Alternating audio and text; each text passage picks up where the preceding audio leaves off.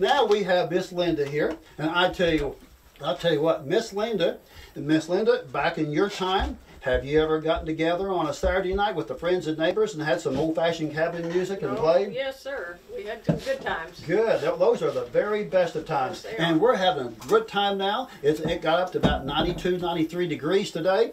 And, and we're sweating in here, and this is without the air conditioning. This was just to remind us of the good old days. I love it personally. This is hubba hubba, and that hubba hubba in French means that's great, by the way.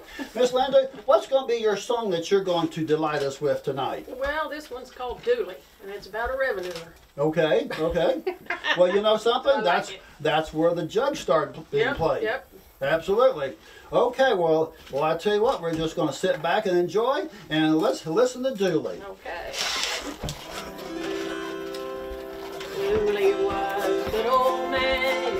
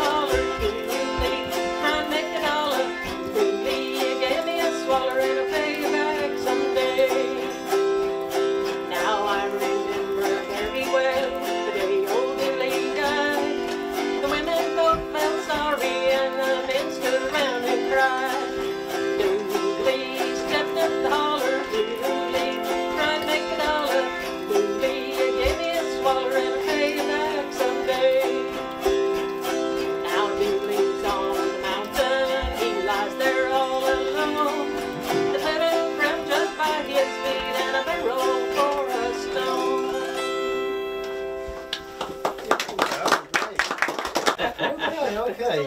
Well, well, thank you so much, Miss Linda. That was really good. And and uh, this is an auto harp. Mm-hmm. And at, at what age did you start learning how to play it? Oh, 60? Are you being serious? Yeah. Oh wow, wow! That was forty years ago.